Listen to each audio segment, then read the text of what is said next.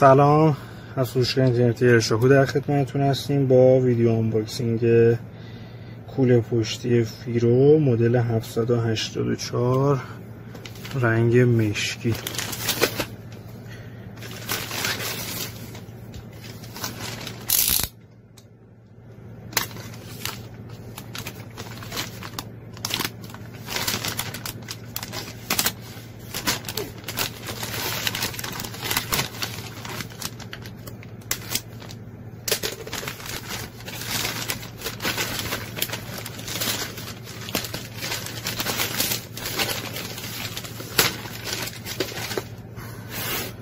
مشاهده میفرمایید جنس کار برزنت ضد آبه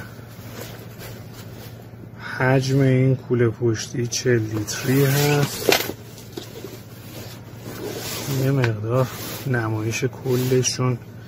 ویدیوهای ارشاکو و محصولایی که open box می‌کنیم کوچیک هستن. یه مقداری شرایطمون برای محصولات این تیپی زیاد مساعد نیست. بسخای ما رو پیشا پیش بپذیرید. فقط قصدم اینه که یه مقدار ویدیو به هر حال ببینید. بهتر از هزار تا عکس ویدیو مشاهده می‌کنید. جلوش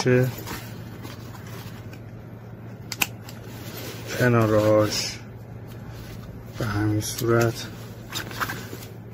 جیبای مختلفی داره. این سمتش هم به همین صورت.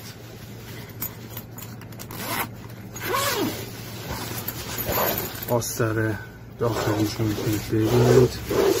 توجه قیمتش کار بسیار بسیار ارزنده ای هست. کیفیت قابل قبولی هم داره. مشاهده می‌کنید بندایی که داره. و توضیحات خاصی نیست. ممنون که وقت گذاشتید. موفق و پیروز بشید